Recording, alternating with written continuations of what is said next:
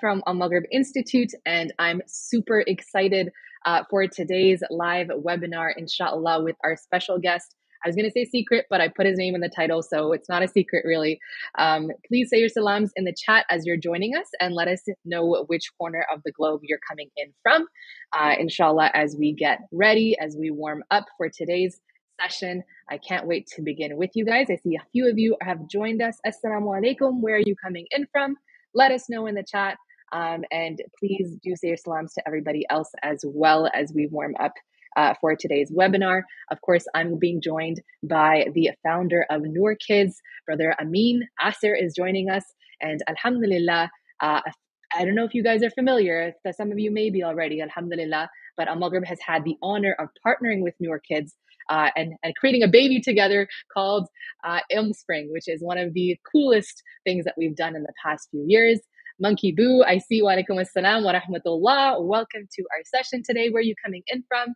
And the many of you who are joining us, uh, Jazakallah khair, Niz- Nizamuddin. Apologies if I butchered your name. Wa alaikum assalam wa rahmatullah. Where are you coming in from? Let us know. Muhammad Sadiq as well. Jazakallah khair for being here. Inshallah, we're starting in just a minute uh, as I bring on Brother Amin. But I want to get you guys uh, ready to go. Inshallah, Brother Amin is high energy. He's going to take off running, inshallah. So I don't want to, I want to make sure you guys are ready to meet that. I want to make sure that you guys are hydrated, that you're excited, and that you're, of course, sharing this link to this live session in your chats on WhatsApp, on Telegram, on Facebook Messenger, on Discord, whatever you guys are using these days, uh, please do share uh, the khair, inshallah. Monkey Boo's coming in from Glasgow. Glasgow? Glasgow? Let me know how to pronounce that. Ahmed, wa alaikum assalam wa rahmatullah. Canton, Michigan in the house uh, with Ahmed. Jazakallah khair for being here today. Uh, inshallah, let's get this shared. Let's get this going uh, before we jump in. For those of you who, the two of you maybe here who are not familiar uh, with Brother Amin, Alhamdulillah, he is the founder and the executive director of Noor Kids, uh, which is a Harvard-supported educational technology firm that seeks to build character meaning children, character meaning among children. It's launched in 2012, so it's been around for 10 years. They're celebrating their anniversary. Uh, and as many of you know, Al Maghrib, mashallah, is celebrating our 20 year anniversary. So it's amazing that we've met at this conjunction, alhamdulillah. Noor Kids has titles in over 250,000 homes across 25 countries, mashallah. And Brother Amin is the one who started it all. Jazakallah khair for joining us, Brother Amin. Assalamu alaikum wa rahmatullah. It's an honor to have you. Wa alaikum salam wa rahmatullah. So good to hear from you and so good to see you, Sister Hafsa. How are you doing on this wonderful Thursday evening? Alhamdulillah, Alhamdulillah. I'm doing great. I'm really excited to have you on. Um, I'm excited for us to jump into the third leg of the Ilm Spring journey together. Um, but Brother Amin, I know some people are super familiar with what we're talking about. Some people have no clue. They've been living under a rock. They haven't been checking their emails. um, so, what is Ilm Spring? What is it, and why was it created? So, look, um, Sister Hafsa just mentioned a little bit about Noor Kids and a little bit about Al Maghrib Institute. I want to tell you about Noor Kids first. We started 10 years ago to solve a very specific problem. How do we make sure that when Muslim youth are growing up in North America and across the world, build a love for their faith. Well, we did a bunch of research, and what we discovered is those first nine years matter a whole lot. If we can plant the seeds of love for Allah subhanahu wa ta'ala at a young age, then as those children get older, inshallah, it will bear good fruit. Inshallah, we will be successful. So we ended up doing a lot of research and we created this wonderful character building program for children ages four to nine. Al Maghrib Institute discovered an opportunity specifically related to adults. That is, for those of us who have not, for example, invested our lives into learning religion through going to the seminary, how might we learn about our faith in a methodical and a, uh, a, a with a level of excellence? Hence, why they created Al Maghrib Institute. But any parent who has a child in middle school will know that between children and adults, there is young adults. there's this period of middle school where you know, Amin, you talk about establishing roots and trees, but like middle school can be a hurricane, a hurricane somewhere between TikTok and between um uh between Snapchat and between figuring out what clothes we're wearing to figuring out what's cool on Twitch there is a real set of challenges that many of our 9 to 14 year old Muslim children deal with. So, how might we inspire these 9 to 14 year olds to build a genuine, loving connection with their faith? And not only a genuine and loving connection with their faith, but also relationships, a feeling like they're part of a community of other people who look like them and who talk like them and love Allah subhanahu wa ta'ala like them. And through that, Ilm Spring was born. So about two years ago, Alhamdulillah, I had the good fortune of working with uh, Brother Noor, who's the um, executive director of Al Maghrib Institute. And um, we began thinking yes, there is a problem to be solved, but what does this actually look like? How can we actually create content that 9 to 14 year olds, how can we create a course? How can we create work that 9 to 14 year olds will genuinely, seriously, out of their own free will, want to be a part of? Because here's the thing, Hafsa the goal here isn't to create something where we have to like twist our kids like arms like oh you know like you have to go to this class. Oh no no no you have to you have to participate. No we want to create something where genuinely youth out of their own accord want to be a part of it. And so we had to do a lot of research in order to figure out how we would teach these classes that's awesome, mashallah, subhanallah. So that's that's that's what I love about Noor Kids and Al Maghrib partnering is that there is this gap in the middle. Uh, that both of us have perfected our styles of teaching, and we've per- we've got such passionate, excited audiences. Now, how do we make that learning just as exciting for kids who are in such an important transitional part of their lives. 9 to 14 is so so crucial. There's so much that happens especially nowadays with the the TikTok generation and all the confusing messaging that there is out there. How do we replace that with positive positive messaging? So I'm really glad that we have that joint mission alhamdulillah. Now, I do want to ask, what does what makes Ilm Spring unique compared to all the other content that there is out there for this group of people? What is it that stands out? Well, I'm glad you asked, Sister Hafsa. It is almost as if I planted that question, uh, which I, you know, did not, but I kind of alluded to it in, in in in in the last thing. I said, "Oh, you know, we came up with this secret sauce. Let me give you a little bit of an insight into our secret sauce." Dun dun dun. No, I'm kidding, but kind of. Um, by the way, if you do have any questions on the chat, write down, you know, your questions for us, and we'll be uh we'll be very happy to answer them. And I know on the bottom it says starting soon. Let us know where you're coming from. Uh, we're starting right now. We've already started, but do let us know where you're coming from. So when we approach Islamic education, we're we're not approaching it in a willy-nilly way we are approaching it with actually a pretty significant level of sophistication from two different sources. There are secular sources, and then there are scholarly sources. Let me first tell you about the secular sources. When we thought about being able to create pedagogy, pedagogy means how we teach, really being thoughtful about how do we teach in a way to connect to 9 to 14 year olds what we discovered is that there are key elements that are absolutely essential that if we include we'll be able to make our courses connect with this age group. Connect like butter.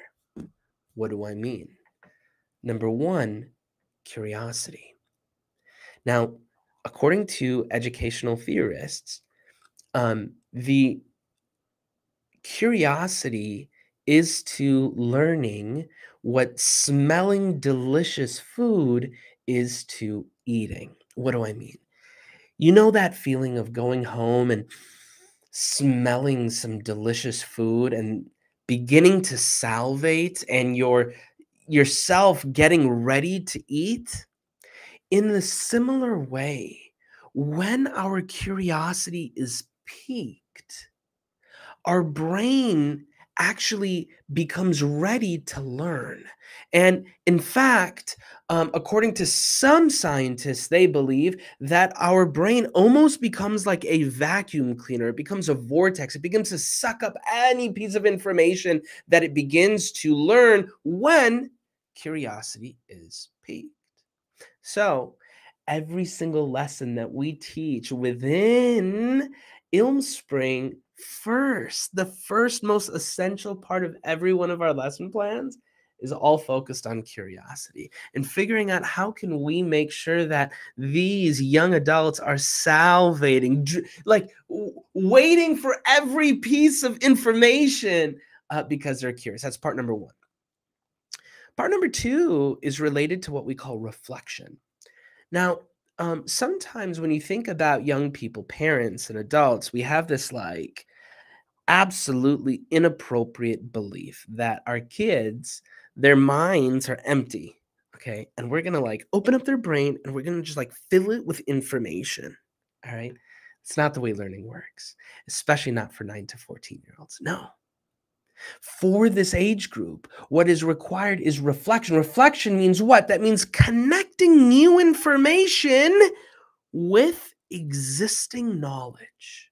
If we can connect existing information or new information with existing knowledge, that is when learning happens. So, for example, if I tell my students, look, something that you know, existing knowledge, let me tell you about something, instruction manual every in, invention in the world has an instruction manual. You know this. I know this. All of our young adults know this. Even the Segway. You know what the Segway is. I know what a Segway is. All of the young adults know what a Segway is. It is the worst invention in the history of inventions. Time magazine, looking at the last hundred years of inventions, concluded that the Segway is the most worthless invention in the history of inventions. But even the Segway has a 184 page instruction manual.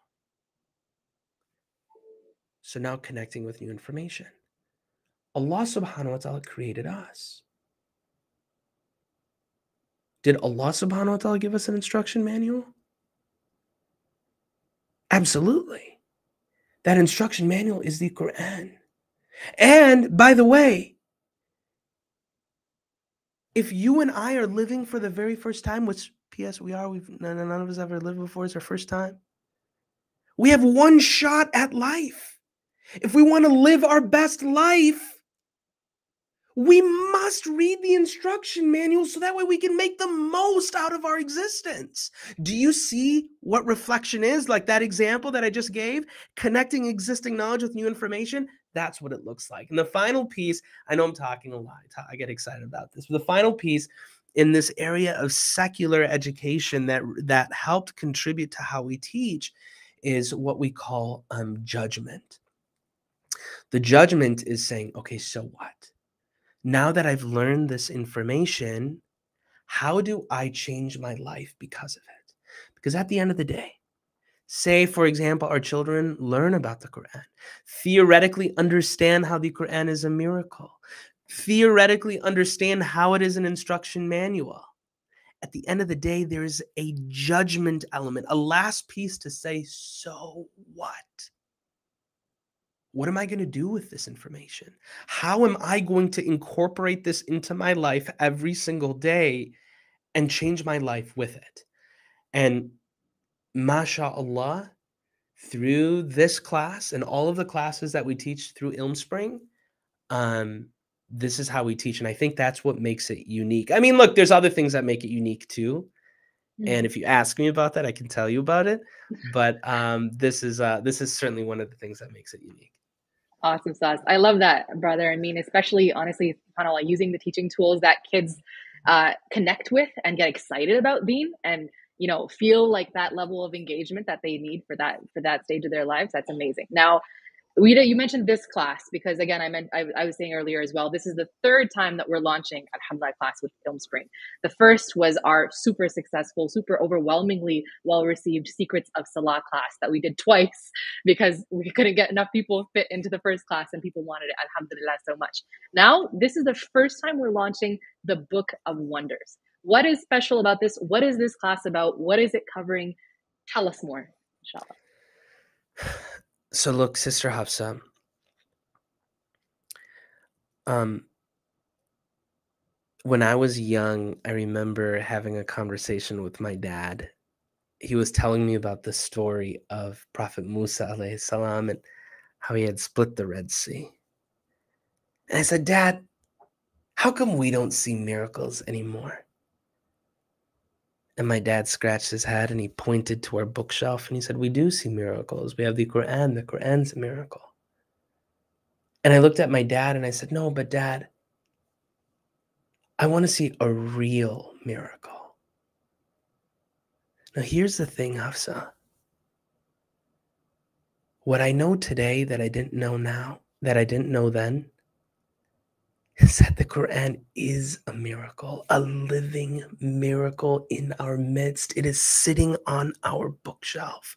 But if we don't see it as a miracle, the issue is not with the Quran, the issue is with us. The issue is with our understanding of the Quran. Now, look, look, Hafsa, Allah subhanahu wa ta'ala is our creator. I think we all agree on that. Let's let's for a moment assume that we all believe this, okay? And we believe that Allah, the one who created the heavens and the earth and everything in between, Allah, the one who created the stars and the solar system and the entire galaxy, Allah, the one who created the ants and the atoms and the cells and and and, and the water system and Allah the one who created you and me. Allah subhanahu wa ta'ala has provided us with one medium one medium through which we can literally listen to and understand the words of our Creator. Yet, how many of us truly, how many of us have a relationship with the Quran? And it's interesting because we talk about 9 to 14 year olds, but don't even think about 9 to 14. Think about us as parents. How many of us have a hollow, a shallow relationship with the Quran? This the literal words of our creator available for us to read, to reflect, to understand, to contemplate, to change our lives. Yet we don't have a relationship. So, through the book of wonders, our goal is simple we want to, over five weeks, fundamentally change the relationship that young Muslims have with the Quran. One that is filled with love and excitement and adoration and appreciation. You know, Hafsa, I think this is something that many people can relate to. Um, when I was young, um, when we would have dinner parties right on Friday or Saturday nights when my parents would invite other people over and I will have like memorized a surah of the Quran. My dad would invite me in front of like all of the guests and say, Amin, recite Surah Al-Jumu'ah. And I'd be like, okay, Bismillah. And I would, re- I would recite the surah. And everyone would be smiling ear to ear and they'd be so impressed. And I would feel good. But can I tell you the issue, Hafsa? Yeah, of course that was it. that was my entire relationship with the Quran. I grew up thinking, I basically grew up thinking that, like, this is a book that if I read, my parents are going to be happy and it's going to earn the approval of other people. That's it. that's that's that's as far as my relationship went. And so when I got older and I started to like deprioritize the Quran and focus on other things, like you can't blame the kid. The kid never understood. They never no one ever communicated how valuable the Quran is, how transformational it is, how its words are a healing for our hearts, how it actually is a manual for us that if we choose to live our life according to, will earn success in this world and in the hereafter. And so, I mean, it, it's kind of funny because, I mean, it's not funny, but it's ironic. Um, and it's something that I, I truly encourage you know, for many of us parents who want our kids to have a relationship with the Quran, like, man, I want my kid to have a relationship with the Quran. I want them to like, you know, it's not just about them learning how to read Arabic. It's about them wanting to like, you know, to read this this this book, this text. The problem actually is much deeper. It stems with us as parents. Nobody ever communicated to us how transformational the Quran is and how it can fundamentally change our lives. And so, just like Secrets of Salah, the first class that we offered through Ilm Spring in the Book of Wonders, we highly recommend for families to participate in our courses together.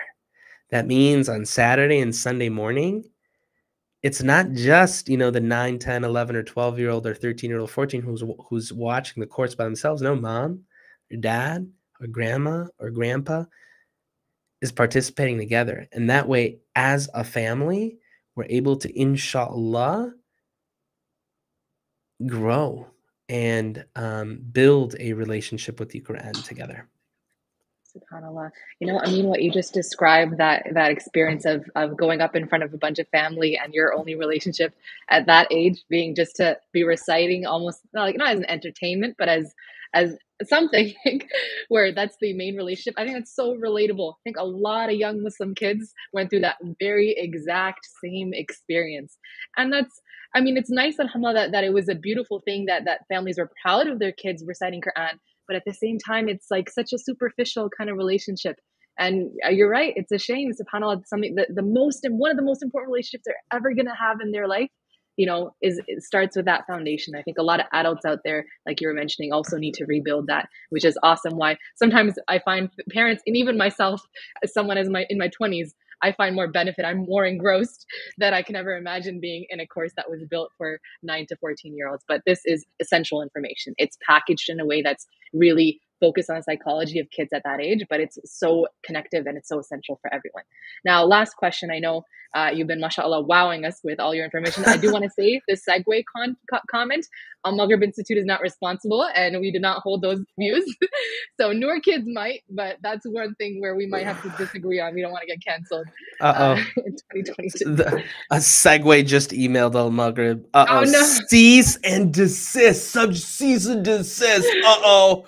Uh oh. lawyers are at the door right now. Yo, now. Segway, you're so bad. You're the worst. No, I'm kidding. I'm kidding. I'm mutes, kidding. Mutes, mutes everything. Cancels and stream.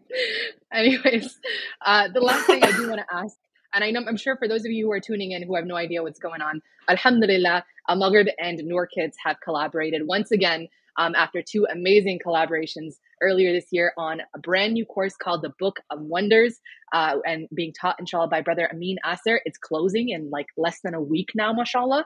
Um, so if you guys are interested, find out more at the link in the description and make sure you secure your spots because these courses always sell out and then we have a lot of sad people and we don't know what to tell them.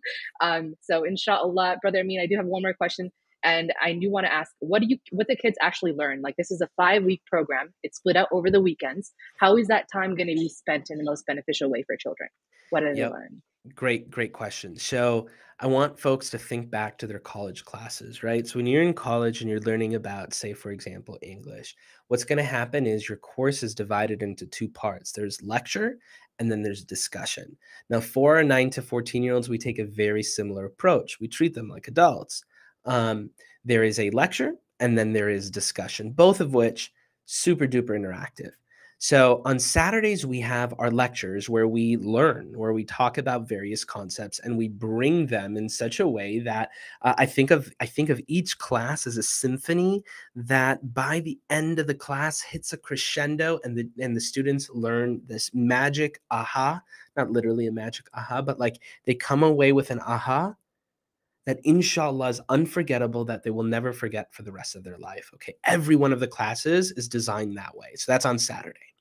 And then on Sunday, we have an interactive discussion where we have um, guest speakers who are some of the most qualified and talented guest speakers in the world who join us, who help take that lesson to the next level and also digest it to say, hey, look, how do we incorporate this into our lives? So when I say that, what do I mean?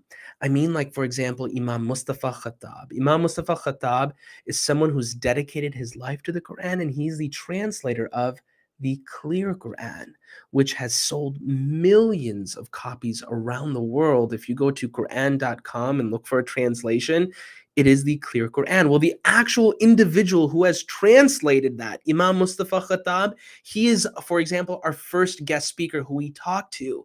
And, you know, we discuss on how the Quran has changed his life. And for example, you know, the the the nuances of Arabic versus English and what are the uniquenesses of each of the languages and the texture around that we talk to uh, other guest speakers, like, for example, Ustada Taimiyyah Zubair, who has spent her entire adult life learning and teaching people the um, contemplation of the Quran.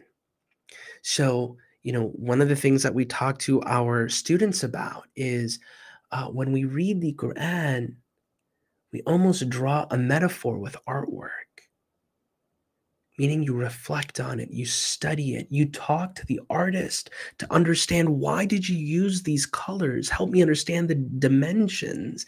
In the same way Ustada Taimiyyah Zubair walks us through how we use hadith to understand the Quran we talk to people like Sheikh Amar al Shukri, who helps us understand more about the Quran as well. People like uh, Imam Wissam Sharieff around the appropriate way to recite the Quran. So, anyways, uh, at a high level, that is how our class is broken up. A. B.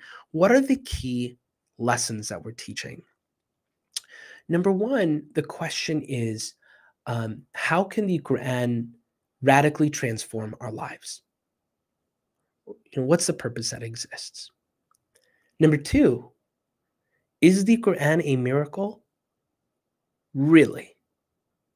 When I say that, I mean genuinely, how can we build an absolute level of conviction that this book is a miracle within our midst? Number three, how should we read the Quran? How often should we read it? Like truly, how should we read it as well? This con- this idea of tafakkur and tadabbur, contemplation and reflection. Number four, the Quran that we have in front of us, that we have today, how did it actually get here? So, understanding the actual way in which the Quran was revealed, compiled, and brought forward in front of us. And finally, this question that many young people and adults wrestle with why is it in Arabic? And do I need to recite it in Arabic? What are the potential drawbacks and limitations of reading it in English? Over these five weeks, we answer these specific questions and along the way help 9 to 14 year olds build an unwavering and lifelong relationship with the Quran. Beautifully said. Jazakallah khair, brother Amin. Um, I know we don't have too much time left. Uh, if anyone has questions for Brother Amin about this amazing experience in the chat, please do feel free to share them. I do want to shout out, there's been some uh, people coming in at Hamla throughout the session. Jazakallah khair if you've come here from the very beginning or if you joined us midway. One of the things that's really awesome about Ilm Spring, just like this audience right here, is that there is such a, a diverse international audience. So the kids also get a chance to, I think we were mentioning this earlier, I mean, get a chance to connect with you know with with other muslims all around the globe and get to see how big the ummah is and get to feel there's kids who are like you know, joining us from communities where they're like, we don't have any other Muslims here. We didn't know Muslims looked like this. We didn't know there was so many of us, you know. So to feel this feeling of community, of togetherness, of belonging, a lot of times it's hard at that age. And Alhamdulillah, Ilm Spring, one of the things I'm really proud of is that we really facilitate that community and that excitement about the deen and excitement about being Muslim and being part of this ummah. Alhamdulillah. So yeah. that was that's always memorable. You know, and, and it's it's it's um something to, you know, knowing and experiencing are different, right? Like say for example, if I described a rose and you know the color of it and the shape yeah. of it and the texture of it, and I described it to you, um, but when you actually smell it, right, it's it, it is a different experience, right? And by the way, we talk about this related to the Quran. It's one thing to talk about it and theorize about, but then there's another thing to actually read it, experiencing it, taste the sweetness for yourself. But anyways, the reason why I brought this up mm-hmm. is many of us, of course, are aware of the mashallah, like expanse of our ummah as Muslims, right? Oh, yeah, you know, we come in all different shapes, colors, and sizes. But when you are together for five weeks with Muslims from Denmark and Nigeria and Utah and even Wisconsin,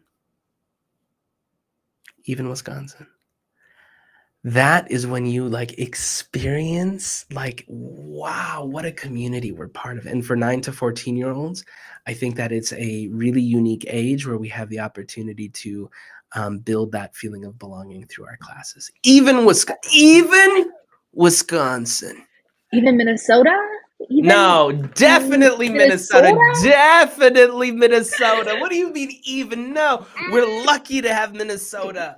I mean, you're neighbors with Wisconsin, so I don't know. No, Wisconsin. I don't know. I don't know. Wisconsin water trickles to Minnesota. Um, it's so funny. No, we no, I, uh, Midwest is very good. Um, I, I, I, I generally sometimes I have negativity towards Wisconsin because of the Green Bay Packers, but alhamdulillah, the Green Bay Packers are having a terrible season this year, which means you know there's really no need to, you know, tease them at this point. Don't worry, we are not going to indoctrinate your children with sports uh, affiliations, inshallah. That is the the side conversation that we're having here. But jazakallah khair, brother. I mean, they may or may not come out Minnesota Vikings fans. I mean, like I probably should have listed that as number six on like the key. It's like learn about the miraculous nature and the importance of the Minnesota Vikings. Yeah. Incoming refund requests for this upcoming Book of Wonders. Oh, May Allah protect us. I'm joking. I'm joking. Alhamdulillah. That's that's the fun part is that we have a lot of fun. There's a lot of jokes. There's a lot of alhamdulillah realness to the way that we teach and that community that we built through Ilm Spring. So I'm really looking forward to you, Amin, joining us inshallah again in just about a week, alhamdulillah, as we kick off our new semester. Just a reminder, everyone, once the semester is closed or it sells out, it's closed. Then we focus all of our attention on the students that are registered to make sure that they have an amazing experience for the next five weeks. So make sure that you do join us now at the Book of Wonders. The link is in your description at ilmspring.com.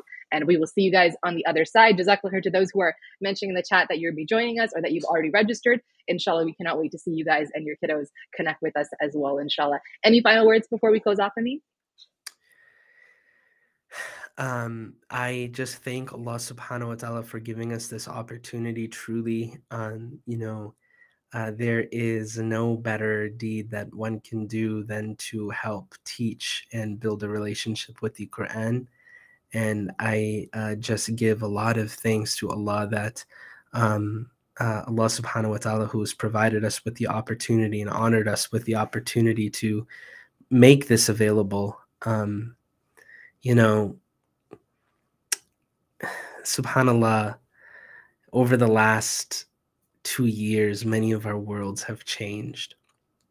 And, you know, when uh, when when calamity happens like COVID and when our world is fundamentally turned upside down, we begin to contemplate about you know uh, other things as well right? So sometimes we contemplate about hey you know are we are we near you know the end? And our holy prophet muhammad peace and blessings be on him when he talked to his companions about the signs of the last days Among them was actually a discussion on the Quran. One where he tells his companions that towards the end, people will not have a relationship with the Quran. And subhanAllah, when we genuinely like think about this, if if we believe that Allah created everything and Allah provided us with his actual words of guidance to us, how crazy would we be not to obsess over it, to internalize it, to read it every day? To think about how we can bring it into our lives. This is the words of our Creator.